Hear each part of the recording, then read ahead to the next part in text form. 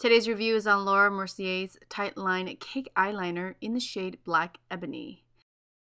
So this cake eyeliner is a pressed powder and it will not work if it's dry.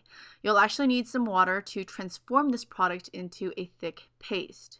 For this part, I would suggest for you to put the water into a little spray bottle so you can just spritz it onto the brush. And once the brush feels moist, you can now dip it into the pan and swirl it around to create a smooth and creamy texture. The cake eyeliner is pretty much ready at this point, and this is the perfect amount for tightlining both lids. Now when you're ready, try to start from the outside and work your way towards the inner corner of the eye. I'm also pushing the product to the underside of my upper lash line and I'm kind of wiggling it around to fill in any gaps that are between my lashes. Here's our first before and after shot and I definitely agree that tightlining makes the eyes look more defined.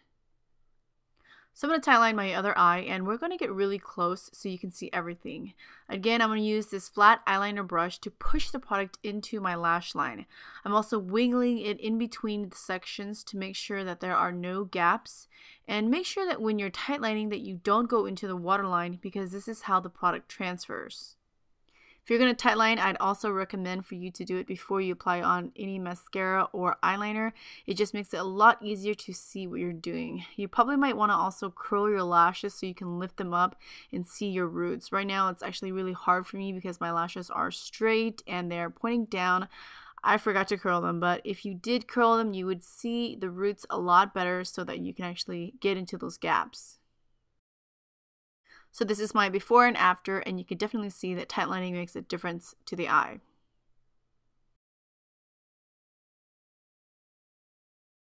Overall, the Laura Mercier Cake Eyeliner is perfect to tightline, but it is a little harder to use. First of all, there are a lot of steps to preparing this product because it doesn't work dry. The best solution is to use water and I think it's more convenient to put it into a small spray bottle.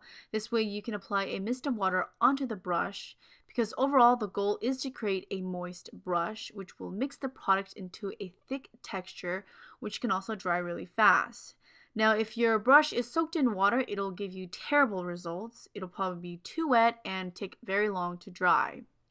When you're using this product correctly, it does look very pigmented. It's also slightly smudge proof, but if it is exposed to any water, it will just come right off. So this product really is long lasting if it stays dry.